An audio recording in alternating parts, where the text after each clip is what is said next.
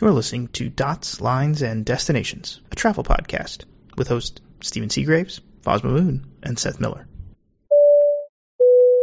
Hello, and welcome to episode 474 of Dots, Lines, and Destinations. I'm Stephen Seagraves, joined today by Mr. Seth Miller. How you doing? I'm doing well. How are you?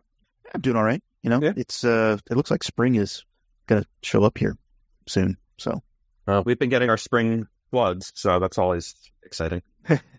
for us, it's like, oh, we get rain and then it'll be like 65 and nice for like a day, and everybody Yeah. goes outside. Then the next day, of course. Yeah.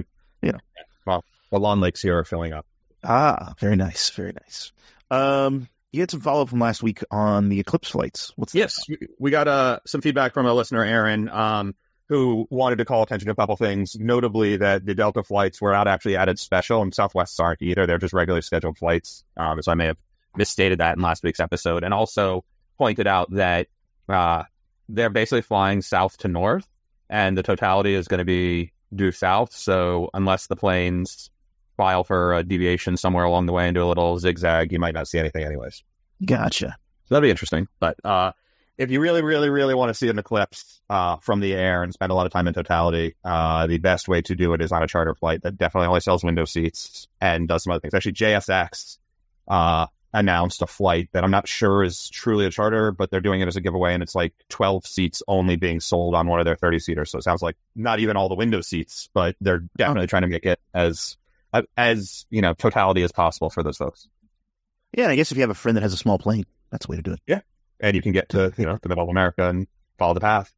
Wouldn't uh, wouldn't some of the transcons that go kind of southerly also be good options, but sit on the right side of the plane? Yeah, I think the challenge you'd have there is because the path sort of goes from Texas up and across the you know Ohio and then Oh, I gotcha. whatever you're you'll you'll you'll fly through it, but you'll get you'll actually like reduce your time because you're crossing it at the wrong speed, but you might get your minute or so, thirty seconds of interesting. Gotcha. Yeah, Maybe that makes sense. that long, but Yeah, yeah. that makes sense. Um, I discovered that it's actually close enough up here that we've got friends. Some of my wife's friends are coming to visit to stay with us, so we can try to drive up and a little even further north. Uh, we Oh, might, nice. get, yeah, we might not get totality here. Just depends on how far north we're willing to drive. Um, it's about three hours, I think, is the minimum we'd have to drive to get totality, and that's assuming minimal traffic, which I can't imagine will be the case on Monday, Yeah, yeah. eighth. But uh, yeah, we're gonna try. Interesting. I always find the eclipses to be interesting times. Like uh, when when we had the one up here, just the rentals and the number of people that we we met who are going to to see it was pretty incredible. Yeah. So, yeah. Um, I had some follow up. I mean, I kind of vaguely listened to what Foz said about mediocre Wi-Fi. Yeah. And I know Ed commented on it. Um, I guess Foz is pleased with the Wi-Fi. Is that the general takeaway? That was the takeaway I got. Is he see, he thinks it's getting better? I think it depends. I think it depends. I think it depends on the plane that you're on, like the age of the plane and the Mhm. type, and where you're flying. Um, I I had a flight from uh, Houston to Portland, which is all over land, uh, and it the the Wi-Fi. I paid the eight bucks. The Wi-Fi didn't work for maybe a half the flight, um, or it was like loading or whatever, and then it worked. Um, so it kind of kind of killed. Like it was it was kind of a waste for me. Yeah. But then I've had I've had flights like over you know the Pacific or the Atlantic where it works great the entire time. Um, so I don't know. I uh, I wish I wish United would figure out pricing a little bit better. I think they I think they could do some stuff. I think if it would relieve it would relieve flyers if it was don't sell me a day pass for 16 bucks when you know I'm going to be on two connecting flights because that's what the price I'm going to pay anyway. Yeah. Give me give me some sort of discount. Make it into like make it uh, attractive to me. Yeah. But- Um, and I've long held like, you know, and I can even sort of mentioned this, I think, on the show when we were talking about files. Like the guy next to me on my Hawaiian flight was like, wow, this is amazing. It's awesome that it's free, but you know, if it works this well, I'd pay for it. And Delta actually did a pretty good job of getting people to pay five bucks when they were able to pretty consistently provide the service. Yep. But you knew it was only going to be five dollars. It was going to work. It was like easy to deal with. Yep. Um, not everybody obviously is going to pay that, but if you know it's going to actually work, I think that helps soothe the. I guess I can pay for it. Yeah, and as and as an elite flyer, like even even if United said, okay, it's eight bucks for the entire day, any flight you're on for today, Yeah. like I I'd pay that. I, heck yeah, I may not even use it on all the flights, but I'd I'd pay it. Yeah. because everywhere I go requires a connection. So for me, paying sixteen dollars doesn't make a ton of sense. And then on a transatlantic or transpacific, you're charging forty bucks some flights. That's insane. It's insane. So anyway, Way less satellite capacity over the oceans than there is over land. well, I mean, if we're doing it based on, I mean, I didn't realize, you know, we're we're pulling a what is it? Who is it? Wendy's these days? Uh, Has dynamic pricing? yeah, exactly.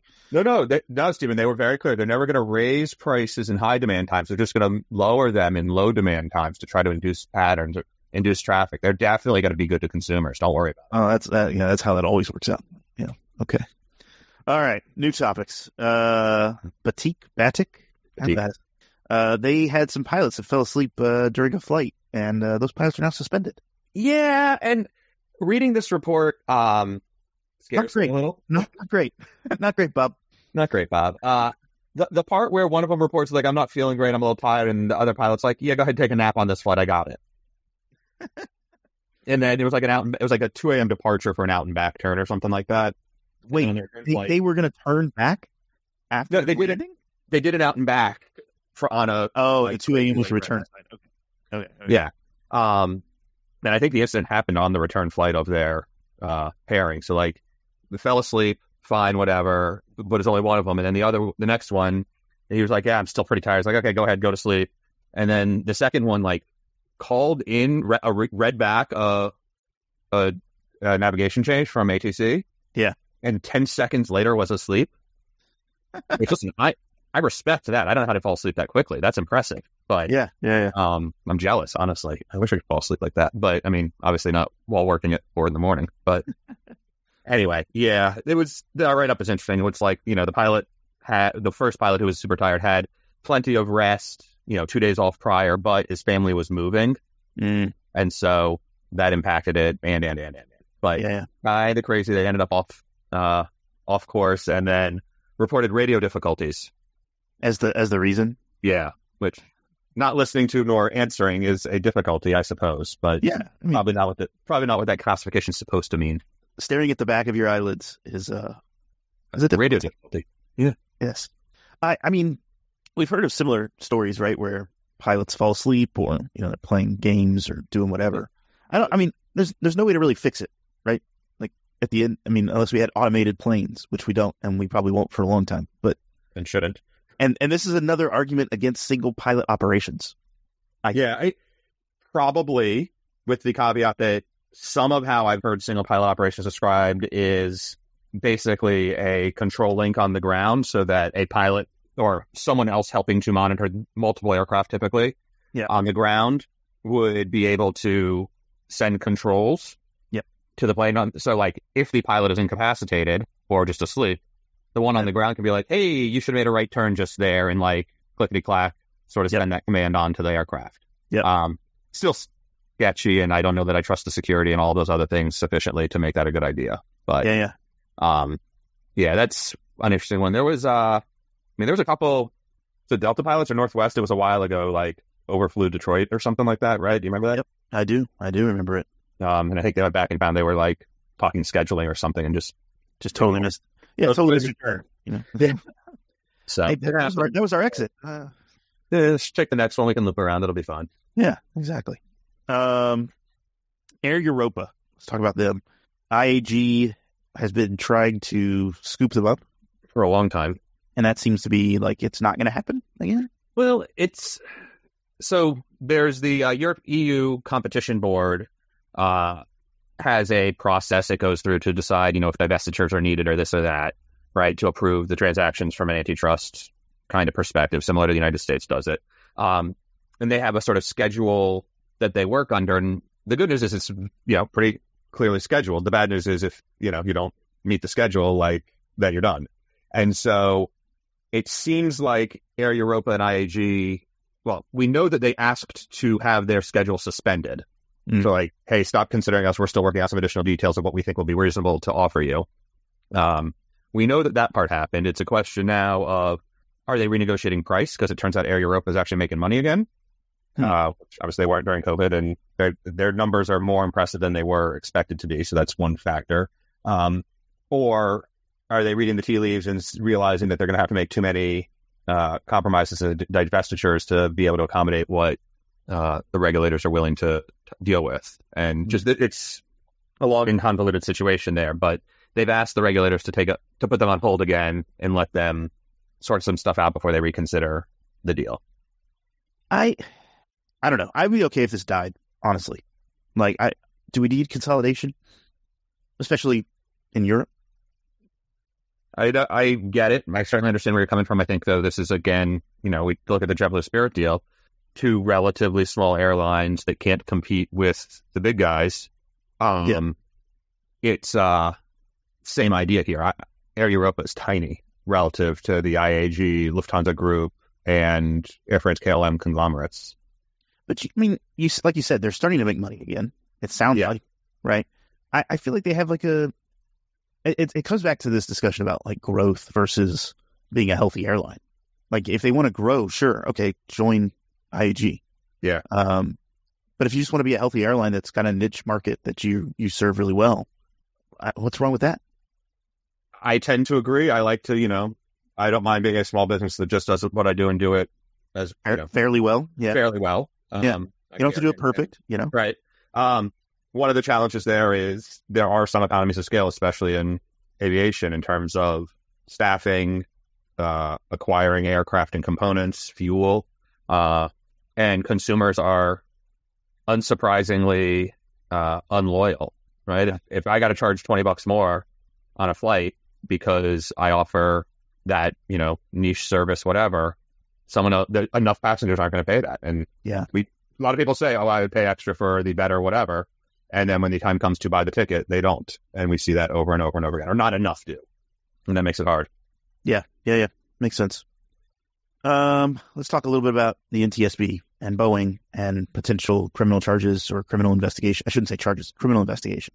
Yeah, um, they're pissed. The NTSB. Uh, so, so Jennifer Homendy, I think is how her name's I pronounced. think I think so. Yeah. uh, the head testified at a Senate hearing saying, We've been asking for these details basically since the day of the incident with the plug blowout in January, and we haven't gotten them yet. And Boeing has, you know, 60 days later, Boeing hasn't delivered this information to us. And then uh, Boeing issued a statement saying we're cooperating fully, and separately had some, and we'll debate how much of this really happened in what way. The the official story is that their top lobbyist in DC had a staffer who sent letters to or emails to senators disputing things and saying, you know, trying to spin it, signing this, the lobbyist's name. He has disavowed that and said his staff wasn't supposed to have done that. But basically, looking all sorts of terrible. Try the stand the same shit all over again of Boeing looking like they're trying to cover things up. At the end of the day, what appears to have happened is Boeing does not have documentation of the door plug being removed, Hmm. who did it, how, etc. And so that's sort of supposed to be there. Like that's a big part of the requirement the yeah. So that that's a big problem. Wow. Um, and the the criminal investigation potential, the DOJ getting involved, the it seems like it's happening. Uh, what will come from it, of course, nobody knows. But the Ethiopian 302 crash was like five years and a couple weeks, or four years, 50 weeks, something like that, 48 weeks. It was very close to five years. Yeah. Uh, and Boeing apparently had a consent decree that basically said, hey, as long as you guys don't screw up anymore, we're not going to press charges. And that expired in mid January. And this Hmm. happened a couple days before that expired. So it put Boeing back on the hook potentially for the original MAX problems plus the new problems, is my understanding. I, I think I got that right. But either way, the DOJ now seems to be uh, looking at these things and, you know, little bits like, yes, we are an ODA, right? We have del- delegation from the FAA that we promise we are running our production facilities perfectly and keeping track of all the details on all these aircraft. Oops, we don't have that paperwork. Uh, becomes a problem in situations like that, right? Because someone somewhere signed off saying, we've got all this data, we've got all the details on this aircraft as it was built. We are confident that it is built to standards. And obviously it wasn't. And now they don't have the paperwork to explain why, what fell through the cracks. Uh, that's not good. But No, I. Yeah, I mean, We're all I think. to, oh, yeah, go ahead. no, I was going to say, like, I think, I think they are in a Boeing's in a tough, a very tough spot at this point. Like, they, they could really, I don't even know how to describe it. They could really screw themselves. Like, I, you know what I mean? Like, Well, yes, the the challenge there is, and they, they are screwed at this point, right? The FAA has that 30 airplane a month cap on them until they can sort of get their production line sorted out. They're talking about maybe buying Spirit Aerosystems back, but I'm amusingly that, that Jefferies analyst like, I don't think this is a smart investment. Mhm. Well, like dollars and cents, maybe not, but actually keeping the business afloat, probably. Um, also, like, how are you going to fix Spirit that quickly? Yeah, yeah. Uh, I guess, I guess the answer there is if it's not an outsourced contract of having to hit a price target per unit that like reports on a top line. If it's, if it gets hidden in the numbers and becomes a little fuzzier, maybe you can make the math work. But Yeah, yeah. it, ultimately, Boeing's going to have to start paying more to get the work done. Yeah. one way or another. And uh, that seems to be something they don't want to do because you know quarterly profits are king. Well, I, I feel like I feel like too. There's like every little news story that comes out, like the United flight that ran off the runway and the gear collapsed. Right, it, it immediately turns to into a Boeing discussion. Yep. Um, it's about Boeing, and it's like, well, no, that sounds like it was just like a wet runway, and the pilot didn't turn the plane when he should have, or you know, wasn't paying, whatever, whatever the reason. It Yeah. had nothing to do with the plane. Um, and and this morning, I mean, I, I, I we should talk about it. Like, there was a incident on a Latam flight from Sydney to Auckland, um, where the plane dropped in air quotes. I'm putting air quotes up here, like you can see me. But uh, I mean, it sounds like some kind of you know clear air turbulence to me. Um, Sounds like that, but Latam put out 50 people injured. I don't think any seriously, but big deal. Yeah. um, was I a lot of believe Trans Tasman, so they do a what city to Auckland to Santiago or something like that. yeah, yeah, yeah. Um, so I think it was the short hop of that long trip. Um, in one direction, I don't remember which, but they claim it was a technical fault. But where I'm going, where I'm going with this though, is this immediately becomes a Boeing story. Well, it does, especially because they've said it was a technical issue, not we had turbulence. And Yeah. that's raised a whole lot of other questions. There's someone posted, I think maybe Herald had it, as noted that there was an issue where if you leave all three uh, computers on, Mhm. the uh, navigation computers on board on for like 24 days or 22 days, something like that. Oh, you don't do a reboot. You don't, if they are, they stay powered on, you hit two the two to the 31 seconds or something like that. You hit an overflow. Yeah. Of some, you know, data field. And if all three of them were all powered on at the same time and thus hit that overflow at the same time and all crashed, that's bad. I don't have no idea that that's actually what happened, but this is one of the theories that has been posited, and that would be a technical issue. Yeah, Arguably Uh, one that we know how to memory leak. well, it's an overflow. Yeah, arguably one we know how to mitigate, right? Like Yeah. reboot one of those, turn the plane off. And we've known about it for a long time, but also, you know, who designs it that instead of just rolling over, it crashes? Yeah. Why, why was that a good architecture and why wasn't that fixed at some point already? Yeah. So, um, and listen, Airbus has ADs and emergency ADs too. Uh, one came out today that, you know, we joke about not walking into the, we don't joke we talk about not flying, not walking into lavatories in socks or bare feet because it's disgusting in there.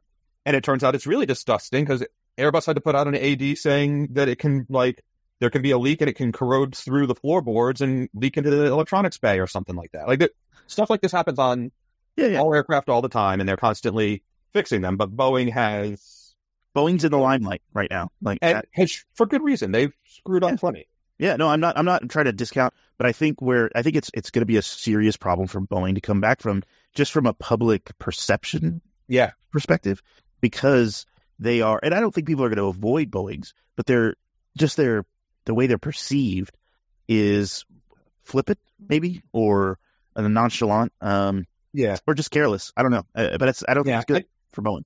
And I agree with you. Most people won't avoid them, but there are some who will. And Yeah. I would say Americans not worried, right? They placed that order last week that we talked about for the Yep. all the planes um, that may or may not actually get delivered. But yeah, there's there's a lot there. Yeah. Um, new United routes. This is fun.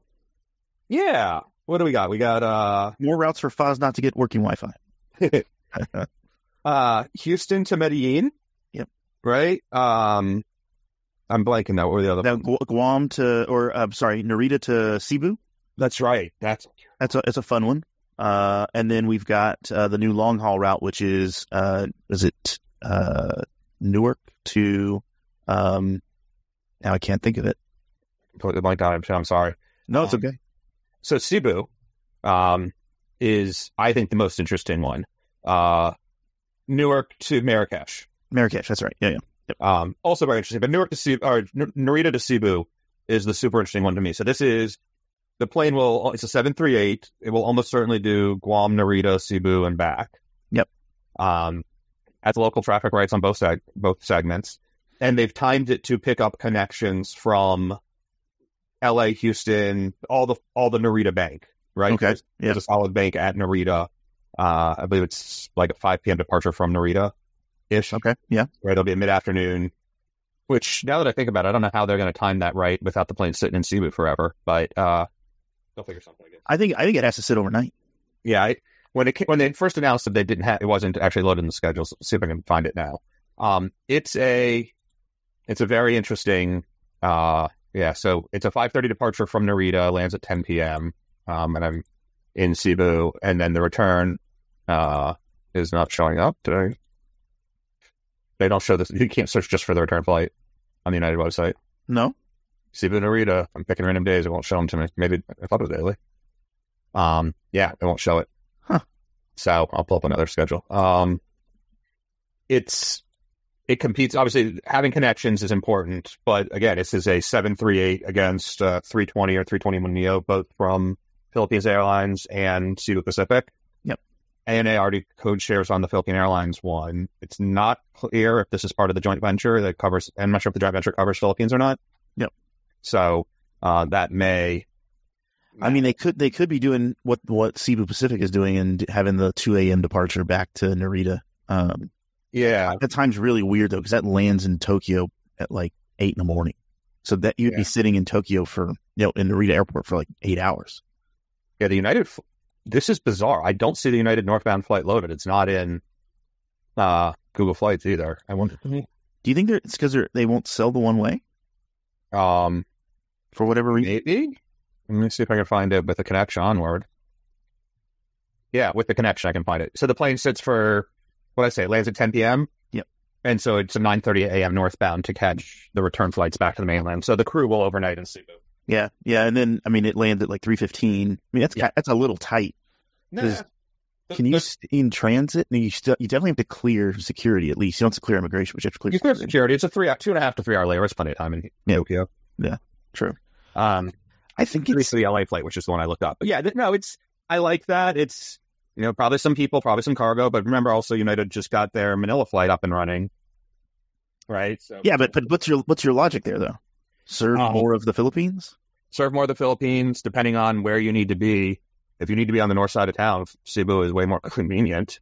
Um, and you're connecting anyways. So do you connect in San Francisco or do you connect in Narita? Yeah, fair enough. I I'm thinking like why not? I I don't know why United doesn't push more through Guam. I mean, I, guess it's in the middle of nowhere. I know, but it, you've got, I don't know. It seems odd to go to Tokyo. I guess from the East Coast, it makes some sense. But you're not gonna. What do you have left? But what do you have from the? What do you have left at Narita? New, Newark, Dulles, Newark, LA, Houston, and Chicago, I believe. and Denver. Denver. Can't forget Denver. That, yeah. Okay, so you have decent. You have decent feed. Okay, I mean that that makes more sense the more I think about it. But as they draw down Narita, I, I don't know. It feels like Guam makes more sense to serve some of the Oceania, South Pacific mm. destinations. Guam only vaguely makes sense if you're connecting but within the region. If you're trying to get to the mainland, because the Earth is a funny shape, Yeah. you know, roundish, Yep. you got to go north to get there. Yeah, but I mean, like Cebu to Guam to San Francisco is much shorter than Cebu to Rita, San Francisco. Is it? I think so. I'm gonna, I'll double check my my math here. So Cebu, Guam, or Cebu, Rita, SFO. Uh, it's like Yeah. 200 miles. 200 miles. Yeah, 100 miles. Yeah. Oh. So it's, it's a little shorter, but It's, no, it's longer. Guam is longer, Stephen. Guam is 7238. I have it backwards. Yeah. 77. Yeah. Yeah. Guam is really is relatively south, and so to get back to the mainland, you got to go. Yeah, you're, you're already farther south. Yeah, I see what Yeah. you're saying. Yeah, it's interesting. Um, To all our listeners, don't at me. Uh, we got it fixed. It's okay. um, sorry, what do you what do you what do you think though? Like traffic wise, this does. I mean, it's a weird usage of a plane. The plane sits overnight. I, I guess the people who fly the Micronesia routes, the the crews, Yeah. they probably like it because it gives them another destination. Yeah, somewhere else to be. And um, I am a little surprised there's not also Manila straight to, uh, excuse me, Guam to Cebu. I could see that sort of joining up, but again, depends on what flows are within the region as opposed to back to the mainland. Yeah. And I, you know, United at Narita has Denver, Newark, Houston, LA, and San Francisco still. They've got a ton of, they've still got five daily mainland flights. So Yeah. there's some opportunity there.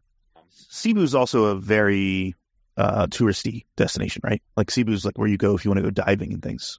Correct? Uh, when I went diving, we flew to Manila and went south, but That's where I Cebu is.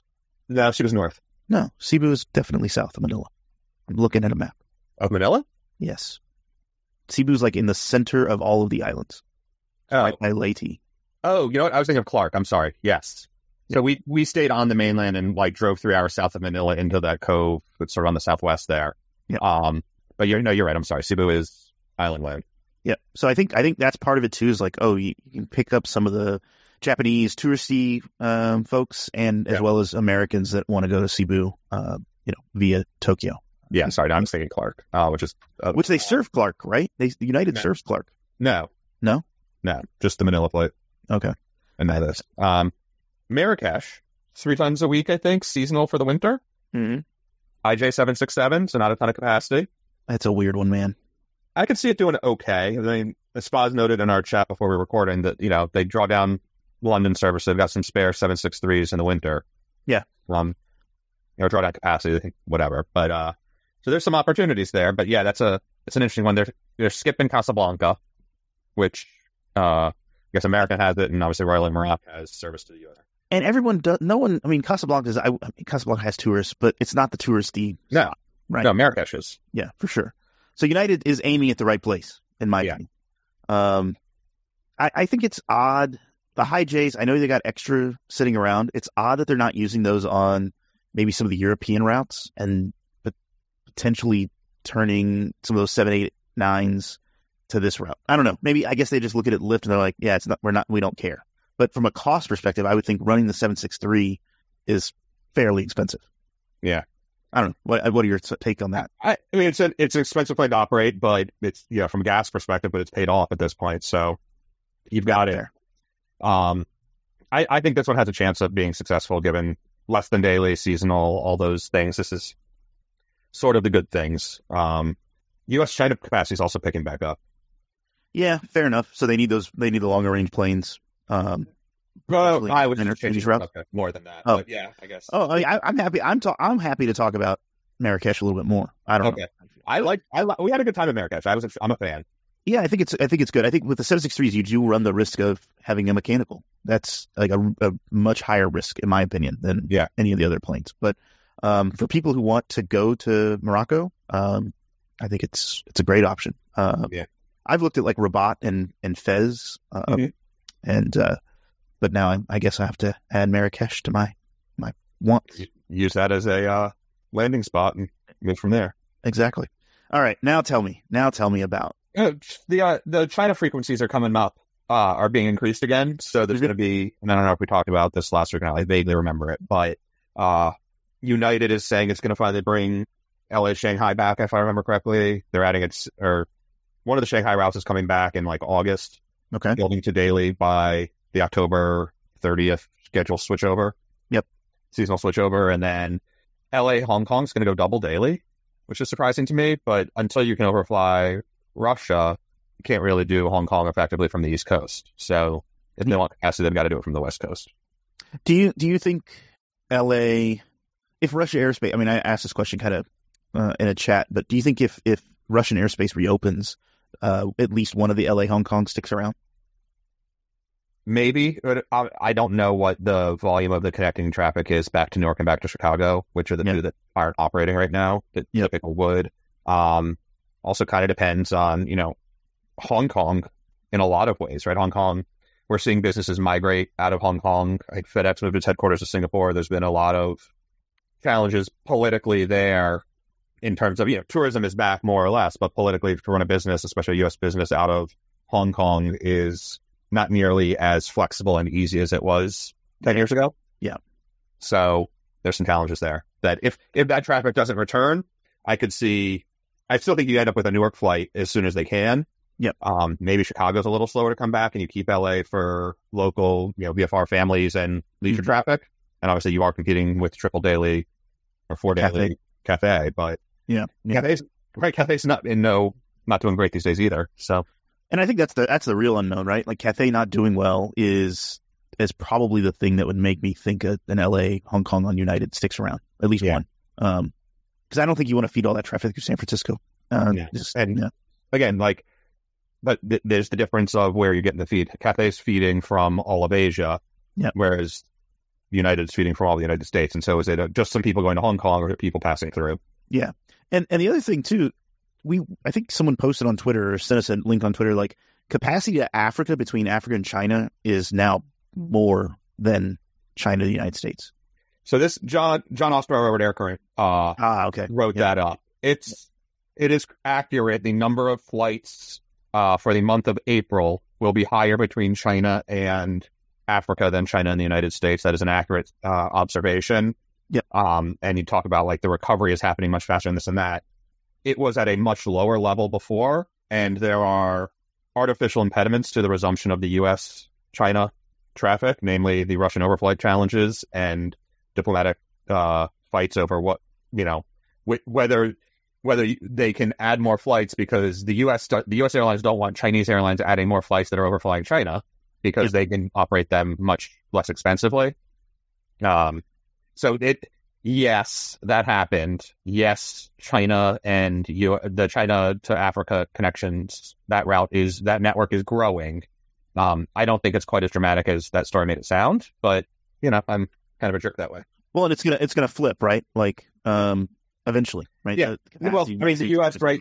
right now the U.S. and China have a 35 uh, flights per week cap, and it's going to Yep. 50 uh, very soon. The Chinese airlines have already f- been filing all of their updated schedules.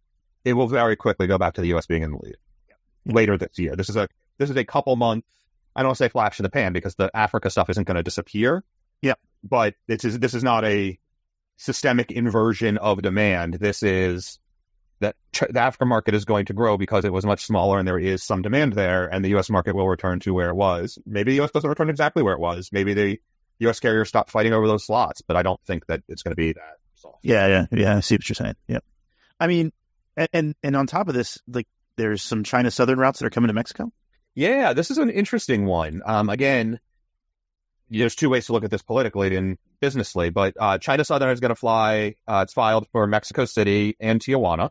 Yep. Uh, so they and I think it's from Shenzhen, so they'll fly nonstop to Mexico City, uh, three times a week. From there, hop down to Tijuana on the border, which is not at altitude, so it has a long enough runway, and then they can get they can make the full flight back to China nonstop without Mm-hmm.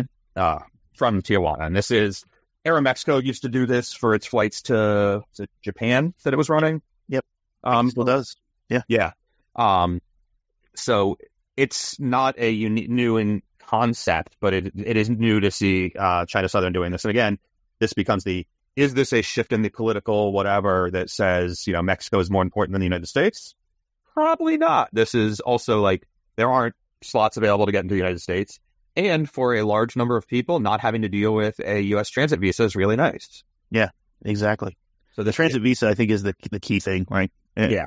For for folks and for Chinese nationals, I think it's that's even harder. Uh, Yeah. and and arguably, depending on the political climate in the United States, Mexican nationals. So yes, Um, so I think, yeah, I mean, it makes a lot of sense. And if if they're carrying cargo as well, like having people transit the United States to, you know, with the plane, it, Yeah. it's kind of it's kind of asinine.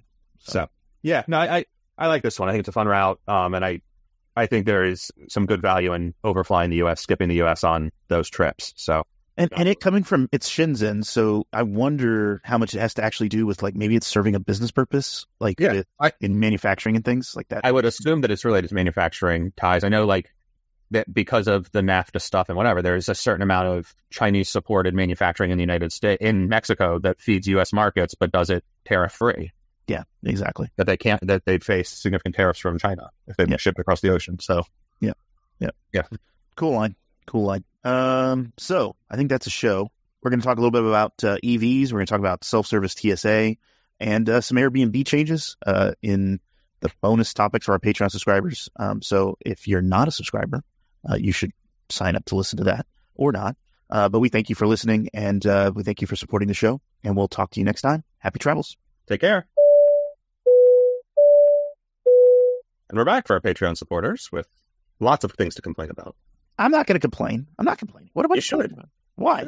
Because you had a shitty experience. I mean, it was a mediocre experience. I'll put it that way. I, I got an EV. Uh, Anything less than an eight or a nine or a ten on your uh, net promoter score is a bad experience, dude. And We strive for excellence here. oh, okay, okay. Uh, so I, I got an EV. I wrote. I did a whole write up. We'll put the link in the show Yeah. notes. Um, about you know my experience, but it Orlando Airport got an EV. Um, they basically said this is what I have, and there was a bomb threat going on, and I didn't really want to sit around and wait for a different car, so I took it.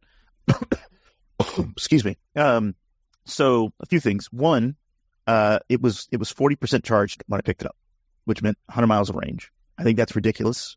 I think um, if you can't support the EV, the EVs that you have by charging them for 30 minutes with a fast charger, you probably should have EVs on the order. Yeah. That's that's my opinion. Um, if I had wanted to go somewhere, I would have immediately had to go to a charging station. Uh, and and then the just the overall communication of like, hey, this is how you should charge it, or just some kind of like starter guide from the rental facility would be nice. Yeah. I think some some people have said other rental companies do have that. I think Hertz maybe has like a quick start guide or something. Um, You get an email from Hertz if they know that's what you booked, but you didn't book that, so I'm not sure you would have gotten it. yeah, exactly. I wouldn't have gotten it. So, um, I think that was, and, and I asked the question. I said like, how much do I have to charge this before returning it? And the guy was like seventy percent of what it's at now, which I'm like, well, that would have been like, you know, 25, 30 percent maybe of charge. Like that's Yeah. that's not great. Um, and and there's nowhere documented on like the slip that they give you for rental or in the email or whatever of what the actual charge is. It just said eight out of eight full because it's not a gas vehicle. So using eights to describe how full the car is is probably wrong. Um, and then finding a charger is not as easy as people make it seem. I, it's easy in quotes, but knowing what that charger can do as someone who doesn't own an EV is limiting Yeah. because I didn't get a fast charger. It took half the day to charge the car. Um, And you said it wasn't right at your work, right? no, I had to walk 15 minutes. So there's nothing at the Orlando Convention Center. The the uh, Ontario is it Ontario County? What's the county that it's in? Yeah, it's not Uh, Uh, whatever that convention center is there. Orange. Uh, Orange County. Yeah, I knew it was California name that I was thinking of. Uh, uh, Orange County Convention Center. There's no, there's four EV chargers, but two of them were broken and two of them were occupied every day I was there. So it's not many. yeah, it's not a lot for a huge convention center, especially at a convention that was about electricity. So, um, anyway, just uh, I think the overall experience, like at least give me something. Like the one, I think the car rental car facilities need to the rental car companies need to focus on a car, a specific vehicle type. Like, Yeah. gi- give me if, if it's all Hyundai's, that's fine, but work with Hyundai to program these things that have chargers ready to go in the app, so I can just go click, find a charger. Here's the closest one. Here's how this works. You know, here's the fast chargers or whatever, so that it's easy. And this should be so- this is software, right? It's shouldn't be hard. Yeah. Um, yeah. Go ahead. No, I'm looking at the email. So I actually had a Hertz EV booked a couple weeks ago um, when I was in Ontario, of all places. I was supposed to rent a car and drive downtown, and then I was going to have some meetings. The meeting scrubbed, so I just took the train instead, which was wonderful and convenient. But they do send you an email. There's a whole like landing page, microsite for the EVs. They give you a trip planner, route planner thing. Yeah. To help you figure out where you're going to go and where chargers might be. But you, um, and they charge a flat rate for recharging or you can, oh yeah, it's thirty-five dollars, twenty-five dollars for Gold Plus Rewards members, or return it at the same charge level it had at pickup. Um, you know, so those are some, int- you know, a few things. But again, like also the last time I rented one, and this time I didn't, and this time I had, I think, a Polestar or something booked. But the first time I did, I did with a Tesla, and Tesla moves enough of the buttons around. Yep. Like I didn't actually know how to operate the vehicle, having been a driver for legally uh, a driver for almost 30 years. Yep. Um, so that was again a, a thing, and I, you know, some of that stuff is in the videos maybe, but like I don't also plan to do research at that level. Like, how, how do I shift it into gear? Yeah. And oh, by the way, I don't know if you saw the story about how uh, Yeah. So the woman was killed because she couldn't get the door open. door open. Yeah. Yeah. It- which I think it, shi- it shifted into reverse instead of forward or vice versa, and she Yep. couldn't figure out what was going on and died. Yep. A billionaire sister-in-law of uh, Mitch McConnell. Yeah. and sister of the former Secretary of Transportation. Yep. Elaine Chao. Yep. Oops.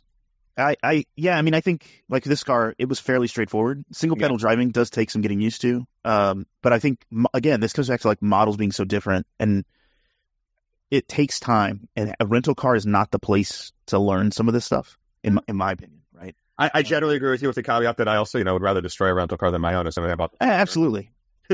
yeah, yeah, absolutely. I know. But I think like I agree. Like when you're wanting to get on the road, it's like I don't want to spend 30 minutes trying to figure out how this thing works. Like it's just not. So I did like a loop around the parking lot, and that's how I kind of got the feel for it, which was kind of terrifying because I was like surrounded by other vehicles, but it Yeah. was was fine. It gave me a feel for like single pedal driving. You know, oh, I'm going to let off as soon as I let off the gas, it's braking. Um, Right. so just getting that feel, and I don't think I ever really got super comfortable with the single pedal driving. I wasn't in like super confident mode, but I was better, like knowing, oh, just let off the pedal a little bit. Don't don't fully let your foot off because it'll break. Just let your foot off, you know, Yeah. ease up. Um, yeah, Apparently, at least like on the Teslas, that's the regenerative regenerative braking. You can turn that off and on. So yeah, and I bet you could hear, but again, I didn't. I got to Right. go into the menus and figure out how to do, you know. And I'm Yeah. sure, and I, I actually after the after the fact, I went in and looked like a Mercedes uh, EQB is what I had, um, and looked up their you know app and everything that they have, and their app actually looks like something that would be very useful as an EV owner, right? Yeah. It was like, oh, here's their charging stations. Here's you know you can set the car to only charge to 75 percent, or you know you can only look, you know, it just all those things that you make life easier um, for for an owner. But yeah, makes you wonder if the rental agencies should try to find a way to white label that, bundle it into their app. Right. Okay. You got you know here's your Avis app. You this is your car. Here's Yep. the t- information you need to manage it. Obviously, there's a lot of complexity around security and stuff to make that work. But Yep. to. And I don't. I think all of this to say, I don't think I would hesitate to rent another EV. Um, I don't know that I would do it in Orlando again. Yeah. The EV charging situation seems very Tesla focused. Um, there, I, I know that there's others, but Yeah. it's much more spread out. Um, but other places, I don't. I don't think I would. I would have problem at all. Yeah. I, I would only hesitate to rent a Tesla at this point just because Safety. I don't feel safe in them. I, I mean, overall, do you did you enjoy? If it was not a Tesla, did you enjoy? You didn't get to drive the Polestar, but did you enjoy the EVs? It was fine. Like it, it's different driving, and Yeah. so figuring that out, like you said, on a rental is a bad time to sort that out. I was fortunate that I did it back when you didn't have to re- recharge to return. It was early enough in the era, and it was fully charged, and I was able to do my Southern California adventure without needing to charge. Yeah. Uh, but so yes, it was fine, but also like it's different, and that's I'm sure next time we have to get a new car, it will be an electric vehicle. Uh, I hope that's not for 10 years yet, but um, it's going to happen and I will learn and it will be fine. But in the meantime, it is a weird and different experience. And it's, it's not just the difference between driving like a micro car, you know, super compact and a sedan boat. No, it's It's, there's a lot of difference that goes into it. Yeah, and and the, I think it's quiet. It's quiet. Like it's unbelievably quiet, which is the first thing I noticed. But I think for people, if you're on the fence about an EV or you you have doubts, just rent one from a. I mean, it's actually really cheap to rent cars these days. So just rent an EV and drive it for the day and see what you think. Like, Yeah. go go charge it, see what it's like. Um, I I it's to me it seems worth it just to get an idea of what the driving experience is. So Yeah. Um, self service TSA. Yeah. I hate this idea. I just this makes me cringe like a lot. well, I mean, the staffing is not great either. So we're running out of options. Fair enough. I mean, I think you're right. Okay, so let's let's give some context here. The TSA is trialing a program for pre-check travelers where they go through a kind of self-service uh, way of of being screened. So you, I think you show your ID or you scan the ID at a machine and it looks and it compares your face, Mm-hmm. And then you put your bag on the baggage carousel or whatever, and you go through, and then it's got a body scanner, which I don't understand how that works with because pre-check's not supposed to have the body scanner. Um, and then it tells you, you know, oh, you're clear, or you've got something in your left pocket or whatever. So Yeah. I mean, It's right, all automated. basically the I know how to do it. I don't need all these people yelling at me. Just let me do it. Okay, prove it, buddy. Um, in a lot of ways, the facial recognition slash ID scanner thing is has been under development and under deployment has been deployed for a while now. Right, my checkpoints in Boston are all facial recognition now, and have been for a while. Um, there's a scan the ID version of it. Uh, there's also I want to say Delta and United. United's at LAX, Delta maybe at LaGuardia, and a couple other places. They're trialing a enroll your ID before departure, like I don't know if it's a scanner or whatever in the app, and then you can show a QR code or NFC because everything's all on your phone now. You don't have to have a separate ID out. So like the scan, the facial recognition happens against that. Yeah. Um, it's still not completely seamless, but they're trying to take the having to show the ID at all out of the to a person out of the you have to show to your phone still, but they're trying to take Yep. that out of the loop. Um, so like part of that is this is just an incremental on that, but then there's also the I don't know there's other bits that are the self you know getting myself through the baggage part. I think I could probably handle that. I generally don't need help from someone unless like there's no bins around or I need a little bit the bowl or something. But figuring out how they're going to manage people walking through who alarm the walkthrough part all the time. That's Well, and it's also it, what do you think of the body scanner? Because we haven't like the body scanners are there, but it's it's really only there if you have like a hip, you know, a, a fake hip or a fake Yeah. knee, you know. Um, I, I tend to avoid them. It's slower. It, I don't particularly like the experience. Uh, well, and so how do you opt out? Like I, that doesn't that with this, I don't know. Yeah, exactly. So I don't know, and I, I just see this being I, I go, I still go through security with pre-check people who have no idea what they're doing, and I'm Yes. like, how did how did you ever get pre? How have you ever flown? Have you ever been to an airport? That's my Yeah. you know Monday morning roll my eyes. Oh, I need to have my ID out. Yeah, what do you what do you think we're doing? Like, it's, Listen, man, I got that fancy credit card that they told me to get that I could get the free pre-check, so I did it. Okay. and I have no idea what it does. I I have no idea what I'm doing at the airport. I don't even know where I'm going. Uh, that's how I feel. Yes. Um. So yeah, I'm not. I'm not a fan. We'll see how this goes in in Vegas, but I don't think Yeah. it's going to go well. Uh. Lastly, Airbnb is going to ban indoor security cameras. It's like, well, that took long enough. Yeah, it's one of those things you want to be like, oh, that was they, they were allowed. Yeah, and so I have seen this a number of. I I use Airbnb still a surprising amount, um, and definitely have seen the oh hey you know one star review there was a security camera inside. Yeah. You know creepy. Um, yeah, creepy. I I sort of get not wanting your house to be destroyed, but like, welcome to running an illegal hotel. Yeah, yeah. I, I mean, you can get security cameras in hotel rooms too. We've seen those stories, right, in the past. Um, I, I just don't know how to deal with it. Um, yeah, I mean, so we see the stories of cameras in hotel rooms. It's, it's, it's a risk. definitely sketchy. Yeah, exactly. So, no, I think, I think, I definitely think it's sketchy. I just, it's surprising. Like this is like a one, it's a news story, and two, like Airbnb's like, yeah, we're doing a good thing. It's like I mean, you should have done this a while back, I guess. Like, Yeah. I don't know. I, I'm still. We stay in some vacation rentals. Some of them are Airbnb. Some of them are other things. Uh, I'm always a little. I, I don't love it. Uh, Right. I don't know. And then, uh, what do you think about Vacasa? It sounds like they're kind of just dying slowly. Who? Vacasa, which I don't know if you even have that where you're at, but it's a No, that's one I'm not familiar with. it's a use- Portland uh, vacation company, um, like house. Yeah. and it, it it feels like they're maybe um that maybe they're it's the end Yeah. for them. I've used VRBO before. I mean, the real problem is that there's scant few independent people renting out a random room or whatever anymore. It's people who have multiple properties and are managing them as illegal hotels, and they have often third-party systems that let them tap into the bigger platforms to put pricing out, and so and manage you know scheduling. So if someone books it via VRBO, it gets immediately removed from Airbnb, also kind of thing. And so Yep. uh, that's a that's where the bulk of the inventory is. And so if you're a random, you know, it goes back to our how big do you have to be as a company. If you're a random one-off, whatever, like can you have enough properties in your inventory and generate enough traffic to justify developing the software and maintaining a staff to support it? And True. Yeah. Yeah, Um, yeah. There's a lot of money there, right? Yeah. There's a lot of money involved. a lot of a lot of expense. Airport Council International Top Airports uh, Award is out. Came out. Who who won? uh, Casablanca in Africa across all five departure categories, maximizing a pleasant experience at every stage of the airport journey. Yogyakarta in uh, Asia, Izmir and Rome, Fiumicino in Europe. Guayaquil- Fumicino. Fu, wait, wait.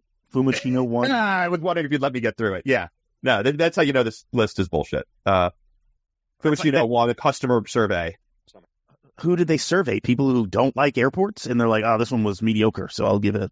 Like, how do you? It's a terrible airport. On that note, Anyway, I'm not okay. even trying to dispute that. Uh, all right, listeners, we got go. we got to go. Thank you, Patreon subscribers, for supporting our show. Uh, we appreciate it, and we appreciate you listening. And we'll talk to you next time. Bye bye. take care.